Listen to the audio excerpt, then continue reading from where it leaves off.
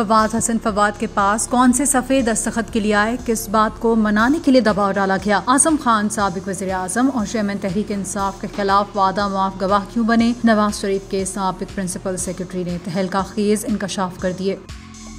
जियो TV के programme में गुफ्तु करते हुए फवाद हसन फवाद ने बताया कि जब उन्हें तहरीक इंसाफ की हकूमत के दौर में जेल में डाला गया तो नवाज़ शरीफ के खिलाफ बयान देने के लिए दबाव डाला गया। उनके सामने दो सफ़े रखे गए, जिन पर सबक वजी आज़म के खिलाफ झूठे मुकदमा लगाए गए थे। कहा गया की आप इस पे दस्तखत करें और घर चले जाएँ।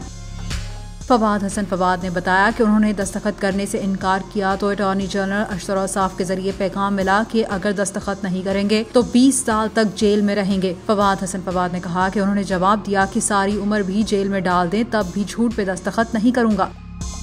आज़म खान के वादा माफ़ गवाह बनने से मुतालिक सवाल के जवाब में फवाद, हसन फवाद ने कहा कि वो आज़म खान को जानते हैं। यकीन है आज़म खान ने वही किया और कहा है जो चेयरमैन तहरीक इंसाफ ने कहा और किया था।